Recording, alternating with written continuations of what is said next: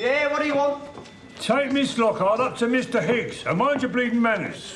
Oi, that's mine. Get on and do what you're told. You'll have to forgive him, miss. He weren't caught young enough to tame. This way, miss.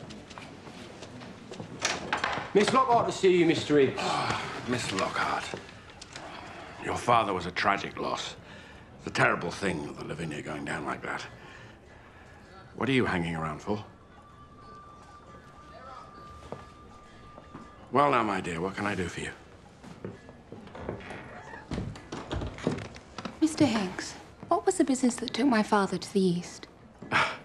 Oh, hardly the sort of thing to interest a young girl. Especially one as pretty as you. But I assure you I am interested.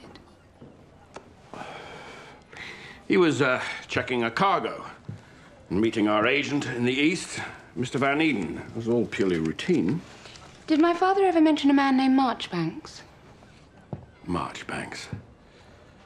Well, there's a, there's a ship's chandler in Rotherhithe named Marjoribanks, but I don't recall Captain Lockhart having any dealings with him. Mr. Higgs, have you ever heard of something called the Seven Blessings?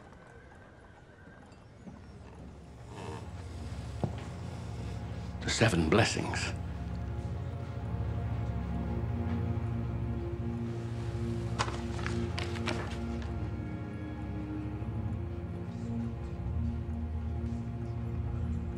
What do you want from me?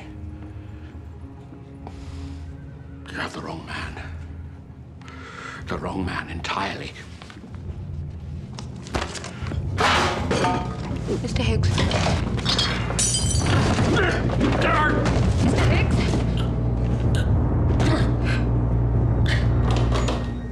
Mr. Selby.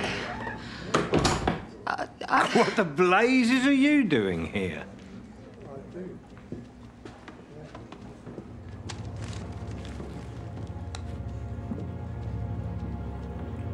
A bad business about your father. We were talking. He just fell.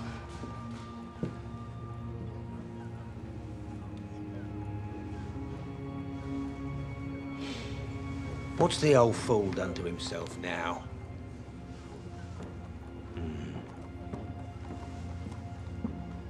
Dead as mutton.